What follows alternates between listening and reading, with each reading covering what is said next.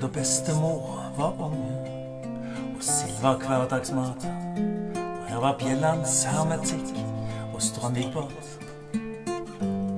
Da satt ei lita veversydame i Mortensen sitt hus og søtte på et prikket liv i dårlig lys.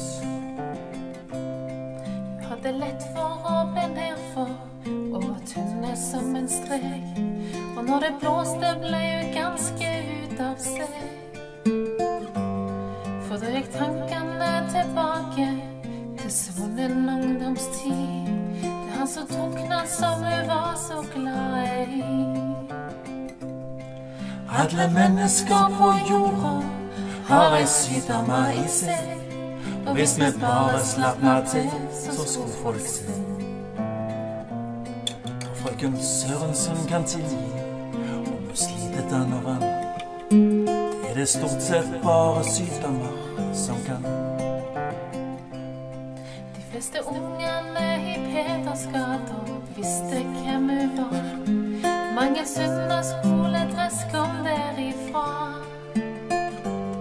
Men det kom mye mer enn klær fra frøken Sørensen sitt sted. For det var omsorg, håp og trøst og sjelafred. Gudrun Sørensen ble 40, ungene i gang. De ville spleise på en sykdomspresang. Hva med et lommetørkle? Fint brodert, sa Marton, men la til. Da får hun sikkert aldri snott og bruk for det. Alle mennesker på jorda har ei sydame i seg. Og hvis vi bare slapna til, så skulle folk se. Frøken Sørensen kan tilgi om hun sliter den og vann. Det er det stort sett bare sykdommer som kan. Nå er hun gammel og sliten og har sydd sin siste sønn.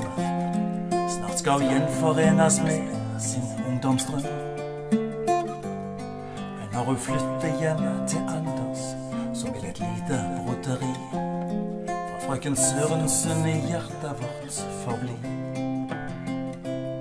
For alle mennesker på jorda har ei sykdom i seg. Og hvis vi bare slapna til, så skulle folk se. Frøken Sørensen kan tilgi om hun sliter den og vann. Det er det stort sett bare sykdommer